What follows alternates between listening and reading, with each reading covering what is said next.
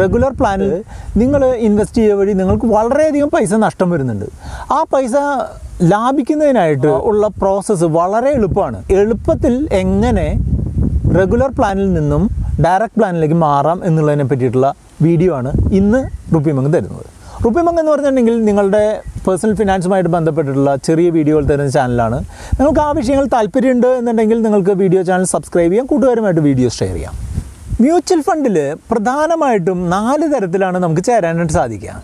ഒന്ന് മ്യൂച്വൽ ഫണ്ടിലെ ബ്രോക്കർമാർ അല്ലെങ്കിൽ മ്യൂച്വൽ ഫണ്ട് അഡ്വൈസർമാർ അല്ലെങ്കിൽ ഇൻവെസ്റ്റ്മെന്റ് അഡ്വൈസർമാർ വഴി.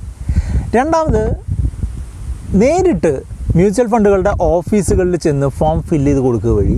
മൂന്നാമത് മ്യൂച്വൽ ഫണ്ടുകളുടെ വെബ്സൈറ്റുകൾ വഴി. നാലാമത്തേത് മ്യൂച്വൽ ഫണ്ടുകൾ ഇൻവെസ്റ്റ് ചെയ്യാൻ നമ്മളെ സഹായിക്കുന്ന ആപ്ലിക്കേഷനുകൾ വഴി. Mobile ആപ്പുകളായിട്ടുള്ള Grow app Paytm money Kuvera അതുപോലുള്ള ആപ്ലിക്കേഷൻസ് വഴി.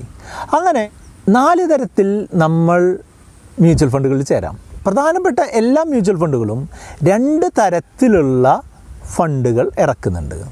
അതായത് ഇപ്പോൾ ഒരു ഉദാഹരണമായിട്ട് പറയുകയാണെന്നുണ്ടെങ്കിൽ നിപ്പോൺ ഇന്ത്യ ലാർജ് ക്യാപ്പ് എന്ന് പറഞ്ഞാൽ നിപ്പോൺ ഇന്ത്യയുടെ ഒരു ഒരു ഫണ്ടാണെന്ന് വിചാരിക്കുക. അതിന് രണ്ട് തരത്തിലുള്ള സ്കീമുകളുണ്ട്. ഒന്ന് ഡയറക്റ്റ് മറ്റൊന്ന് റെഗുലർ. ഡയറക്റ്റ് എന്ന് പറഞ്ഞിട്ടുണ്ടെങ്കിൽ നമ്മൾ പേഴ്സണലി നിപ്പോൺ ഇന്ത്യയുടെ ലാർജ് ക്യാപ് ഫണ്ടിൽ നമ്മൾ നേരിട്ട് ചേരുന്നു എന്നുള്ളത്. റെഗുലർ എന്ന് പറഞ്ഞിട്ടുണ്ടെങ്കിൽ മ്യൂച്വൽ ഫണ്ട് അഡ്വൈസർമാർ നമ്മൾക്ക് വേണ്ടി നമ്മളെ ചേർത്തുന്നു എന്നുള്ളത്. അപ്പോൾ ഈ മ്യൂച്വൽ ഫണ്ട് അഡ്വൈസർമാർ നമ്മളെ ചേർത്തുന്നത് പുണ്യം കിട്ടാനൊന്നും അല്ലല്ലോ അല്ലേ?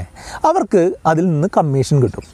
ആ കമ്മീഷനാണ് ഈ മ്യൂച്വൽ ഫണ്ട് അഡ്വൈസർമാരുടെ പ്രധാനപ്പെട്ട ഒരു വരുമാനം. സാധാരണഗതിയിൽ ഒരു ഒരു ശതമാനത്തിനോ ഒന്നേകാൽ ശതമാനത്തിനോ ഒക്കെ ഇടയ്ക്കുള്ള ഒരു എമൗണ്ടാണ് മ്യൂച്വൽ ഫണ്ട് അഡ് അഡ്വൈസർമാർ വാർഷികമായിട്ട് നമ്മളുടെ കയ്യിൽ നിന്ന് നമ്മളറിയാതെ തന്നെ കവർന്നുകൊണ്ട് പോകുന്നത്. അത് ഒഴിവാക്കുന്നതിനായിട്ട് ഇപ്പോൾ സ്വന്തമായിട്ട് ഒരു മൊബൈൽ ഉപയോഗിക്കാനോ അല്ലെങ്കിൽ കമ്പ്യൂട്ടർ ഉപയോഗിക്കാനോ ഒക്കെ അറിയുന്ന ഒരാളാണ് എന്നുണ്ടെങ്കിൽ നിങ്ങൾക്ക് മ്യൂച്വൽ ഫണ്ടുകൾ നിങ്ങൾക്ക് തന്നെ എന്ത് ചെയ്യാം? ഇൻവെസ്റ്റ് ചെയ്യാം. അത് ഡയറക്റ്റ് പ്ലാൻ വഴി ചെയ്യുകയാണെന്നുണ്ടെങ്കിൽ നിങ്ങൾ അതിൽ നിന്ന് വാർഷികമായിട്ട് ഒന്നേകാൽ ശതമാനം വരെ നിങ്ങൾക്ക് ലാഭം ഉണ്ടാവും. ഈ ഒന്നേകാൽ ശതമാനം എന്ന് പറഞ്ഞിട്ടുണ്ടെങ്കിൽ അതിന്റെ ഇങ്ങനെ പറയുമ്പോൾ നിങ്ങൾക്ക് അതിന്റെ ഒരു ഒരു വ്യാപ്തി മനസ്സിലാവില്ല. ഞാനൊരു ഉദാഹരണം പറഞ്ഞുതരാം. ഞാനിപ്പോൾ പതിനായിരം രൂപ മാസം നിക്ഷേപിക്കുകയാണ്. ഒരു ഫണ്ടിൽ നിക്ഷേപിച്ചു. ഇരുപത് വർഷത്തേക്കാണ് ഞാൻ നിക്ഷേപിക്കുന്നത്. ഞാൻ കരുതുന്നു അതിനൊരു പന്ത്രണ്ട് ശതമാനം ആവറേജ് റിട്ടേൺ വർഷം കിട്ടുന്നു എന്ന് കരുതുക. അപ്പോൾ ഒരു മാസം പതിനായിരം രൂപ ഇരുപത് വർഷം നമ്മൾ ഇൻവെസ്റ്റ്മെന്റ് കണ്ടിന്യൂ ചെയ്യുന്നു. പന്ത്രണ്ട് ശതമാനം ആവറേജ് റിട്ടേൺ കിട്ടിയാൽ നമുക്ക് ഒരു കോടി രൂപ നമുക്ക് കയ്യിൽ കിട്ടും. ഇരുപത് വർഷം കഴിയുമ്പോൾ. അതേസമയം നമ്മളുടെ ബ്രോക്കർ സുഹൃത്താണ് നമ്മളിത് ചേർത്തുന്നതെന്ന് വിചാരിക്കുക. ആ ഫണ്ട് പന്ത്രണ്ട് ശതമാനം ആവറേജ് വളർന്നാലും നമ്മൾക്ക് കിട്ടുക എത്രയാണ്? എൺപത്താറ് ലക്ഷം കിട്ടുള്ളൂ. അപ്പോൾ ആ പതിനാല് ലക്ഷം ആര് കൊണ്ടുപോയി? ഇരുപത് വർഷം കൊണ്ട് പതിനാല് ലക്ഷം രൂപ നമ്മളുടെ ബ്രോക്കർ സുഹൃത്ത് അല്ലെങ്കിൽ മ്യൂച്വൽ ഫണ്ട് അഡ്വൈസർ സുഹൃത്ത് കൊണ്ടുപോയി. അപ്പോൾ അത് ചെറിയ കളിയല്ല അല്ലേ? ഇത് ഒരു ചെറിയ കളിയേ അല്ല. വെറും പതിനായിരം രൂപയുടെ കാര്യമാണ് കേട്ടോ. നമ്മളിപ്പോൾ പതിനായിരം രൂപ ഒരു ലക്ഷം രൂപയൊക്കെ റെഗുലർ പ്ലാനിൽ മന്ത്ലി ഇൻവെസ്റ്റ് ചെയ്യുന്ന സബ്സ്ക്രൈബേഴ്സ് നമുക്കുണ്ട്. നമ്മൾ അവരോട് സംസാരിച്ചിട്ടുമുണ്ട്. അവരൊക്കെ റെഗുലറിൽ ഇൻവെസ്റ്റ് ചെയ്യുമ്പോൾ എത്ര രൂപയാണ് ഈ ബ്രോക്കർമാർക്ക് കൊടുക്കുന്നത്? അപ്പോൾ സ്വാഭാവികമായിട്ടും നമ്മളിപ്പോൾ ഉള്ള ആളുകൾ ഡയറക്റ്റ് മ്യൂച്വൽ ഫണ്ടിലേക്ക് മാറൂ മാറൂ എന്ന് പറയുമ്പോൾ നമ്മളുടെ ബ്രോക്കർ സുഹൃത്തുക്കൾക്ക് സ്വാഭാവികമായിട്ടൊരു ദേഷ്യമൊക്കെ വരിക മ്യൂച്വൽ ഫണ്ടുകളെ പറ്റിയും ഇൻവെസ്റ്റ്മെന്റുകളെ പറ്റിയും കുറച്ചൊക്കെ അറിവുള്ള ഒരാളാണ് എന്നുണ്ടെങ്കിൽ നിങ്ങൾ തീർച്ചയായിട്ടും മ്യൂച്വൽ ഫണ്ടുകളുടെ ഡയറക്റ്റ് പ്ലാനിലാണ് ചേരേണ്ടത്. ഇനി നമ്മുടെ ടോപ്പിക്കിലേക്ക് വന്നു കഴിഞ്ഞിട്ടുണ്ടെങ്കിൽ മ്യൂച്വൽ ഫണ്ടിൽ നിന്ന് ഇപ്പം നമ്മൾ ഓൾറെഡി ചേർന്നിട്ടുള്ള ഒരു മ്യൂച്വൽ ഫണ്ട് ബ്രോക്കർ വഴി അല്ലെങ്കിൽ റെഗുലർ പ്ലാൻ വഴി ആണ് എന്നുണ്ടെങ്കിൽ അതെങ്ങനെ മാറ്റാം? അത് മൂന്ന് സിമ്പിൾ സ്റ്റെപ്പ് വഴി നിങ്ങൾക്ക് മാറ്റാം. ഇത് അത്ര വലിയ ആനക്കാരിയൊന്നുമല്ല. ഇത് വളരെ എളുപ്പത്തിൽ നിങ്ങൾക്ക് മാറ്റാം. അടുത്ത ദിവസം മുതൽ നിങ്ങൾക്ക് ഡയറക്റ്റിൽ കണ്ടിന്യൂ ചെയ്യാം. അതുവഴി നിങ്ങൾ വളരെയധികം ലാഭം ഉണ്ടാക്കാം. അപ്പോൾ ആ സ്റ്റെപ്പുകളാണ് ഇനി പറയാനായിട്ട് പോകുന്നത്. റെഗുലർ ഫണ്ടുകളും ബ്രോക്കർമാരും അത്ര വലിയ കുഴപ്പക്കാരല്ല കേട്ടോ. ചില ആളുകൾക്ക് അത് ഉപകാരപ്പെടാറുണ്ട്. കാരണം എന്താണെന്ന് വെച്ചാൽ ഇപ്പം നമ്മൾ മ്യൂച്വൽ ഫണ്ടിൽ പുതിയതാണ്. നമ്മൾ നമ്മൾക്ക് അതിനെപ്പറ്റി കൃത്യമായിട്ടുള്ള അറിവില്ല. നമ്മളത് എങ്ങനെ ചെയ്യേണ്ടതെന്ന് അറിയില്ല. അങ്ങനെയുള്ളൊരു സിറ്റുവേഷനിലാണ് ബ്രോക്കർമാർ നല്ല സഹായമായിരുന്നു അത് അവർ നമ്മളെ മ്യൂച്വൽ ഫണ്ട് എന്താണെന്ന് പറഞ്ഞ് മനസ്സിലാക്കും. അവർ നമ്മൾക്കുള്ള സ്കീമുകൾ സജസ്റ്റ് ചെയ്യും. അതുമാത്രമല്ല നമ്മളുടെ K Y C formality complete ചെയ്യാൻ നമ്മളെ സഹായിക്കും. അങ്ങനെയൊക്കെ അവർ നമ്മളെ കുറേയൊക്കെ സഹായിക്കാറുണ്ട്. പക്ഷേ ചില ബ്രോക്കർമാർ വളരെ ക്രൂക്കഡ് മൈൻഡാണ്. ഈ കമ്മീഷൻ കൂടുതൽ കിട്ടുന്ന ഫണ്ടുകൾ മാത്രം സജസ്റ്റ് ചെയ്യുക. കമ്മീഷൻ അവർക്ക് കമ്മീഷൻ കുറവ് കിട്ടുന്ന ഫണ്ടുകൾ പറഞ്ഞു തരാതിരിക്കുക. നല്ല ഫണ്ടുകൾക്ക് പകരം മോശം ഫണ്ടുകൾ കമ്മീഷന് വേണ്ടി മാത്രം സജസ്റ്റ് ചെയ്യുക. അങ്ങനെയൊക്കെ ധാരാളം കള്ള നാണയങ്ങൾ ബ്രോക്കർമാരിലുണ്ട്. അപ്പോൾ നിങ്ങൾ പുതിയതായിട്ടുള്ള ഒരാളാണ്. നിങ്ങൾക്ക് ഇത് ചെയ്യാൻ കൃത്യമായിട്ട് അറിയില്ല. ഫോൺ വഴി എങ്ങനെ അല്ലെങ്കിൽ കമ്പ്യൂട്ടർ വഴി എങ്ങനെ ഓൺലൈനായിട്ട് നിങ്ങൾക്ക് മ്യൂച്വൽ ഫണ്ടുകൾ എടുക്കാൻ അറിയില്ല എന്നുണ്ടെങ്കിൽ ഒരു ബ്രോക്കറെ സമീപിക്കുന്നതുകൊണ്ട് കുഴപ്പമൊന്നുമില്ല. പക്ഷേ അത് നമുക്ക് നഷ്ടം വരുത്തി തരുന്നുണ്ട് എന്ന് പറഞ്ഞു എന്ന് മാത്രം. ഇതിന് ഒരു ഓൾട്ടർനേറ്റീവ് ആയിട്ടാണ് നമ്മളെപ്പോലുള്ള ആൾ ഈ യൂട്യൂബ് ചാനലോ അല്ലെങ്കിൽ അതുമായിട്ട് റിലേറ്റ് ചെയ്ത സർവീസുകളോ ഒക്കെ തരുന്നത്. ഇപ്പം നിങ്ങൾക്ക് എന്തെങ്കിലും സംശയം ഉണ്ട് എന്നുണ്ടെങ്കിൽ നിങ്ങൾ ബ്രോക്കർ വഴി റെഗുലറിന് പോകുന്നു വേണ്ട. നമ്മൾ നിങ്ങളെ ഡയറക്റ്റ് പ്ലാൻ എടുക്കുന്നത് എങ്ങനെയാണെന്നുള്ളത് പറഞ്ഞ് സഹായിക്കും. നമ്മൾക്ക് ആരുടെയും കമ്മീഷൻ കിട്ടുന്നില്ല. നമ്മൾക്ക് ആരുടെയും കമ്മീഷൻ കിട്ടുന്നില്ല. നമ്മൾക്ക് നമ്മളുടെ ഒരു ഓപ്പറേറ്റിംഗ് മോഡൽ അങ്ങനെയല്ല. നമ്മൾ നിങ്ങൾക്ക് ഏറ്റവും ലാഭകരമായിട്ടുള്ള രീതിയിൽ മ്യൂച്വൽ ഫണ്ടോ അല്ലെങ്കിൽ അതുമായിട്ട് ബന്ധപ്പെട്ട ഇൻവെസ്റ്റ്മെന്റുകളോ നടത്തുന്നത് എങ്ങനെയാണ് എന്നുള്ളതാണ് നമ്മൾ പറഞ്ഞു തരാനായിട്ട് ഈ റുപ്പിമെങ് ചാനൽ വഴിയോ അല്ലെങ്കിൽ ആസ്ക് റുപ്പിമെങ് സർവീസ് വഴിയോ ഒക്കെ നമ്മൾ ചെയ്യാനായിട്ട് ഉദ്ദേശിക്കുന്നത്. അപ്പം ബ്രോക്കർ വേണമെന്ന് നിർബന്ധമുള്ളവർക്ക് ഇങ്ങനെ ഒരു ഓപ്ഷൻ കൂടെ എടുക്കാമെന്ന് പറഞ്ഞു എന്ന് മാത്രം കേട്ടോ. ബ്രോക്കർ വേണ്ട സിറ്റുവേഷൻ എന്താണ്? നമ്മൾ പുതിയതാണ് നമ്മൾക്ക് അത്ര കോൺഫിഡൻസ് ഇല്ല ഒറ്റയ്ക്ക് ചെയ്യാനായിട്ട് കോൺഫിഡൻസ് ഇല്ല ഏത് ഫണ്ടാണെന്ന് അറിയില്ല. അങ്ങനെ വരുമ്പോൾ ചിലർ ബ്രോക്കറെ സമീപിക്കും. പക്ഷേ ഇപ്പോൾ ബ്രോക്കർ സമീപിക്കും എളുപ്പത്തിൽ നമ്മളിപ്പോൾ ഉള്ളവരെ സമീപിച്ച് കഴിഞ്ഞിട്ടുണ്ടെങ്കിൽ നിങ്ങൾക്ക് ഡയറക്റ്റ് പ്ലാൻ വഴി തന്നെ നിങ്ങൾക്ക് ഇൻവെസ്റ്റ് ചെയ്യാൻ സാധിക്കും. നിങ്ങൾ ഓൾറെഡി റെഗുലർ പ്ലാനിൽ ചേർന്നിട്ടുള്ള ഒരാളാണെന്നുണ്ടെങ്കിൽ നിങ്ങളുടെ മ്യൂച്വൽ ഫണ്ടുകൾ ഡയറക്റ്റിലേക്ക് മാറ്റാനായിട്ട് മൂന്ന് സ്റ്റെപ്പുകൾ ഫോളോ ചെയ്താൽ മാത്രം മതി. വെറും മൂന്ന് സ്റ്റെപ്പ്. ഒന്നാമത്തെ സ്റ്റെപ്പ് എന്ന് പറഞ്ഞിട്ടുണ്ടെങ്കിൽ നിങ്ങളുടെ റെഗുലർ ആയിട്ടുള്ള എസ് ഐ പികൾ ക്യാൻസൽ ചെയ്യുക എന്നുള്ളതാണ്. അപ്പോൾ അതിന്റെ ഒപ്പം തന്നെ നിങ്ങൾ അതിന്റെ ബില്ലറും മാൻഡേറ്റും ക്യാൻസൽ ചെയ്യണം. നിങ്ങൾ നിങ്ങളുടെ ബ്രോക്കറോട് പറഞ്ഞോ? അല്ലെങ്കിൽ നിങ്ങളുടെ ബാങ്കിനോട് പറഞ്ഞോ? എസ് ഐ പി ക്യാൻസൽ ചെയ്യാം. നിങ്ങളുടെ എസ് ഐ പി ക്യാൻസൽ ചെയ്യാൻ പറയാനായിട്ട് നിങ്ങളുടെ ബ്രോക്കറോട് അല്ലെങ്കിൽ ബാങ്കറോട് പറയാനായിട്ട് ബുദ്ധിമുട്ടാണെന്നുണ്ടെങ്കിൽ ഈ ഒരു ഫോം അങ്ങ് ഫില്ല് ചെയ്ത് കൊടുത്തു കഴിഞ്ഞിട്ടുണ്ടെങ്കിൽ ബാങ്കിൽ കൊടുത്തു കഴിഞ്ഞാൽ അവർ ഇൻസ്റ്റന്റ് ആയിട്ട് അത് ചെയ്യും. പിന്നത്തെ മാസം മുതൽ എസ് ഐ പി എടുക്കില്ല.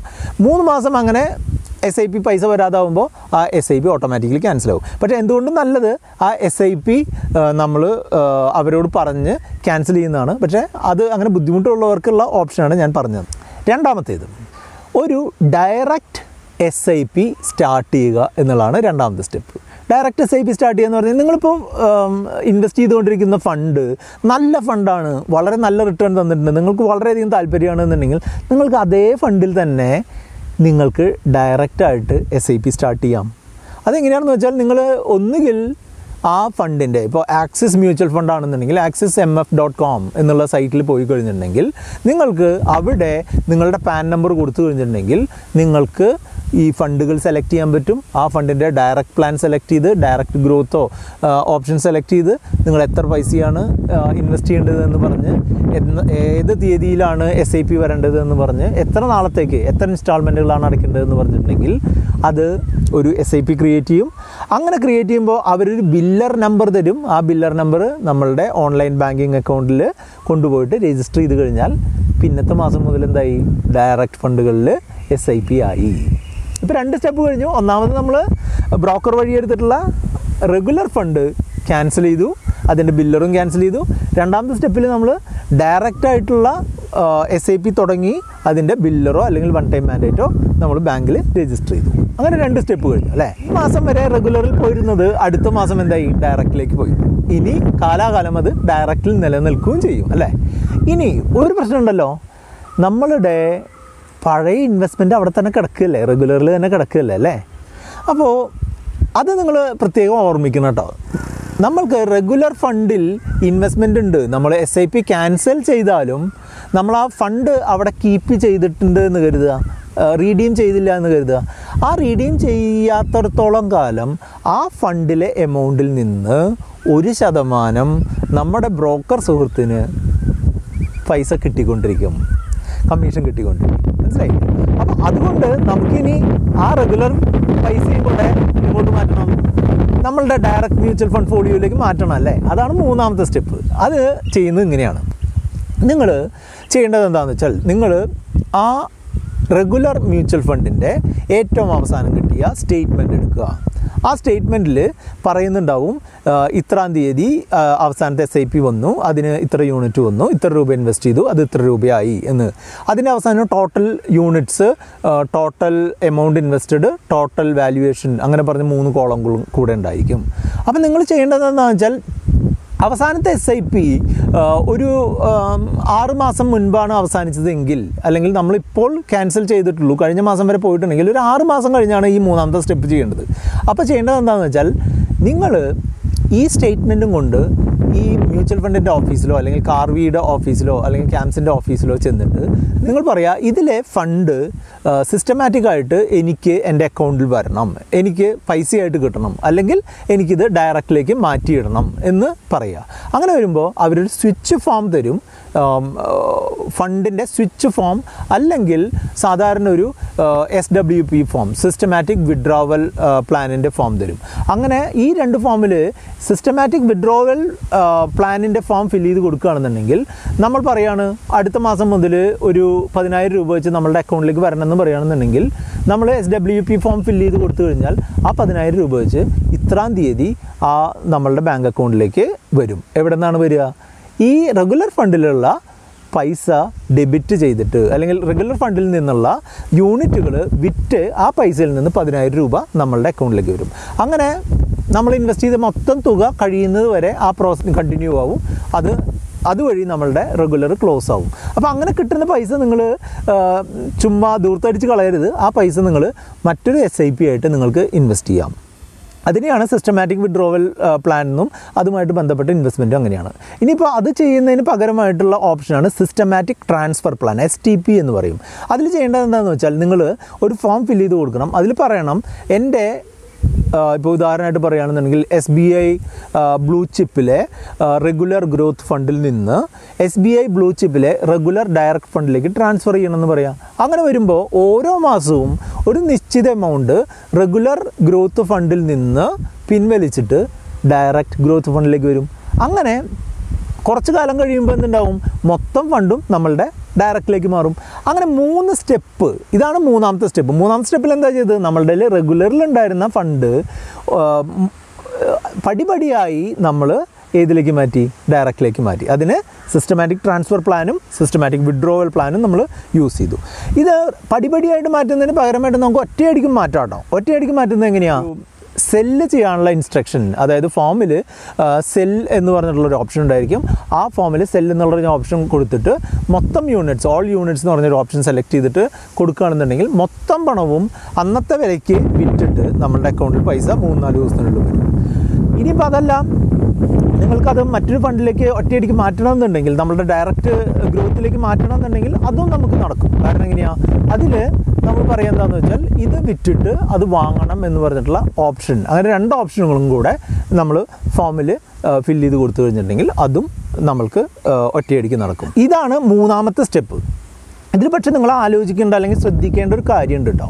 അതായത് നിങ്ങൾ ഈ മ്യൂച്വൽ ഫണ്ട് സ്വിച്ച് ചെയ്യുക അല്ലെങ്കിൽ ട്രാൻസ്ഫർ ചെയ്യുക എന്നൊക്കെ പറഞ്ഞിട്ടുണ്ടെങ്കിൽ അത് വിറ്റിട്ട് വാങ്ങലാണ് നടക്കുന്നത്. മറ്റൊരു ഫണ്ട് വാങ്ങലാണ് നടക്കുന്നത്. അപ്പോൾ വിൽക്കുമ്പോൾ എന്തൊക്കെ പ്രശ്നങ്ങൾ വരുമോ അതെല്ലാം ഈ എസ് ഡബ്ല്യു പി ചെയ്യുമ്പോഴായാലും എസ് ടി പി ചെയ്യുമ്പോഴായാലും റീഡീം ചെയ്യുമ്പോഴായാലും വരും. അല്ലേ? അപ്പോൾ അത് എന്തൊക്കെയാണെന്ന് വെച്ചാൽ ഈ എസ് ടി പിയും റിഡംഷനും എസ് ഡബ്ല്യു പിയും എല്ലാം ഒരേ ഒരു കാര്യമാണ്. അതായത് നമ്മളുടെ കയ്യിലുള്ള യൂണിറ്റുകൾ വിറ്റ് എസ് ഡബ്ല്യു പി ആണെന്നുണ്ടെങ്കിൽ വിഡ്രോ ചെയ്ത് നമ്മളുടെ അക്കൗണ്ടിലേക്ക് വരുന്നു. എസ് ടി പി ആണെന്നുണ്ടെങ്കിൽ ഒരു റെഗുലർ ഫണ്ട് എടുക്കുന്നു എന്നുള്ളതൊക്കെയാണ് അല്ലേ? റീഡീം ചെയ്യുമ്പോൾ നമ്മൾ പൈസ വിഡ്രോ ചെയ്ത് നമ്മൾ ഒറ്റയടിക്ക് എടുക്കുന്നു. ഈ മൂന്ന് കാര്യത്തിലും ചിലപ്പോൾ ചില പ്രശ്നങ്ങൾ വരാറുണ്ട്. എന്താണ്? രണ്ട് പ്രശ്നങ്ങളാണ് വരിക. ഒന്ന് എക്സിറ്റ് ലോഡ് രണ്ട് ടാക്സ് എക്സിറ്റ് ലോഡ് എന്ന് പറഞ്ഞിട്ടുണ്ടെങ്കിൽ മിക്കവാറും ഫണ്ടുകളൊക്കെ ഒരു വർഷത്തിനുള്ളിൽ നമ്മൾ ഇൻവെസ്റ്റ് ചെയ്തതിന് ശേഷം ഒരു വർഷത്തിനുള്ളിൽ പൈസ പിൻവലിച്ചു കഴിഞ്ഞാൽ എന്ത് സംഭവിക്കുന്നത് വെച്ചാൽ നമ്മൾ പിൻവലിക്കുന്ന തുകയുടെ ഒരു ശതമാനം മ്യൂച്വൽ ഫണ്ട് കമ്പനി പിടിക്കും. അതായത് ഒരു ലക്ഷം രൂപ പിൻവലിച്ചു കഴിഞ്ഞിട്ടുണ്ടെങ്കിൽ ആയിരം രൂപ മ്യൂച്വൽ ഫണ്ട് കമ്പനി പിടിച്ചതിന് ശേഷം മാത്രമേ നമുക്ക് പൈസ തരുള്ളൂ. തൊണ്ണൂറ്റൊമ്പതിനായിരം രൂപയെ നമുക്ക് തരുള്ളൂ. അപ്പോൾ അതിനെയാണ് എക്സിറ്റ് ലോഡ് എന്ന് പറയാം. അപ്പോൾ നമ്മൾ പിൻവലിക്കുന്നത് ഒരു വർഷത്തിന് ശേഷമാവാൻ ശ്രദ്ധിക്കണം. അതുകൊണ്ടാണ് ഞാൻ മുൻപ് പറഞ്ഞത് ഒരു ആറ് മാസമൊക്കെ കഴിഞ്ഞിട്ട് ഈ ട്രാൻസ്ഫർ ചെയ്യാനുള്ള പരിപാടികൾ തുടങ്ങിയാൽ മതി എന്ന് പറയാൻ കാരണം അതുകൊണ്ടാണ്. രണ്ടാമത്തെ പ്രശ്നം എന്താണെന്ന് വെച്ചാൽ ടാക്സ് ആണ്. അതായത് ഒരു വർഷത്തിനുള്ളിൽ നമ്മൾ പിൻവലിക്കുന്ന ഇക്വിറ്റി മ്യൂച്വൽ ഫണ്ടുകളുടെ ലാഭത്തിന് അതിൽ നിന്ന് കിട്ടുന്ന ലാഭത്തിന് നമ്മൾ short term capital gain tax കൊടുക്കാൻ ബാധ്യസ്ഥരാണ്.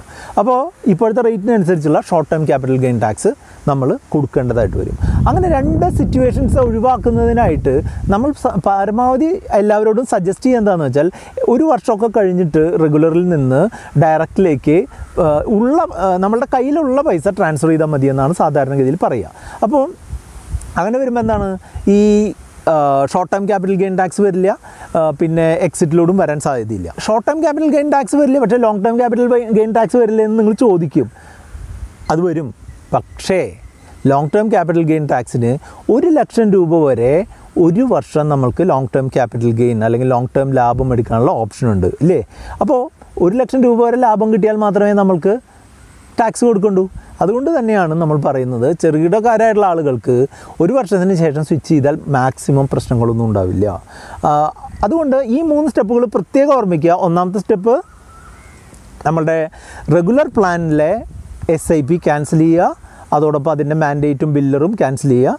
രണ്ടാമത്തെ സ്റ്റെപ്പ് അതേ ഫണ്ടിലോ അല്ലെങ്കിൽ നല്ല ഫണ്ടിലോ ഡയറക്റ്റ് പ്ലാൻ ഉള്ള ഒരു എസ് ഐ പി സ്റ്റാർട്ട് ചെയ്യുക അതിനുള്ള ബില്ലറോ അല്ലെങ്കിൽ മാൻഡേറ്റോ സെറ്റ് ചെയ്യുക. മൂന്നാമത്തേത് ഒരു ആറ് മാസത്തിനോ ഒരു വർഷത്തിനൊക്കെ ശേഷം നമ്മൾ ഓൾറെഡി റെഗുലറായിട്ട് ഇൻവെസ്റ്റ് ചെയ്തിട്ടുള്ള എമൗണ്ടിൽ നിന്ന് സിസ്റ്റമാറ്റിക്കായിട്ടോ ഒറ്റത്തവണയായിട്ടോ പൈസ നമ്മളുടെ ഓൾറെഡി ഉള്ള ഡയറക്റ്റ് ഫോളിയോയിലേക്ക് പൈസ ഇൻവെസ്റ്റ് ചെയ്യുക. ഈ മൂന്ന് സ്റ്റെപ്പുകൾ ചെയ്ത് കഴിഞ്ഞാൽ നമ്മൾ ഈ റെഗുലറിൽ നിന്ന് ഡയറക്റ്റിലേക്ക് മാറാനുള്ള ഓപ്ഷൻ ഈ ഞാൻ നേരത്തെ പറഞ്ഞല്ലോ ഈ ടാക്സുകൾ ഉണ്ട് എന്ന് മ്യൂച്വൽ ഫണ്ടുകളിൽ പിൻവലിക്കുമ്പോൾ ആ ടാക്സുകളെ പറ്റിയിട്ട് നമ്മളൊരു വീഡിയോ ചെയ്തിട്ടുണ്ട്. ആ വീഡിയോ ആണ് ഇപ്പോൾ നമ്മൾ കാണുന്നത്.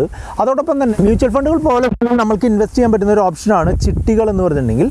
അതിനെ പറ്റിയിട്ടുള്ള വീഡിയോയും നമുക്ക് കാണാം. അത് കണ്ടുകൊണ്ട് നിങ്ങൾക്ക് മുന്നോട്ട് പോകാം ഈ വീഡിയോകൾ താല്പര്യപ്പെടുന്നുണ്ട് എന്നുണ്ടെങ്കിൽ നിങ്ങൾക്ക് ചാനൽ സബ്സ്ക്രൈബ് ചെയ്യാം. കൂട്ടുകാരുമായിട്ട് വീഡിയോ ഷെയർ ചെയ്യാം.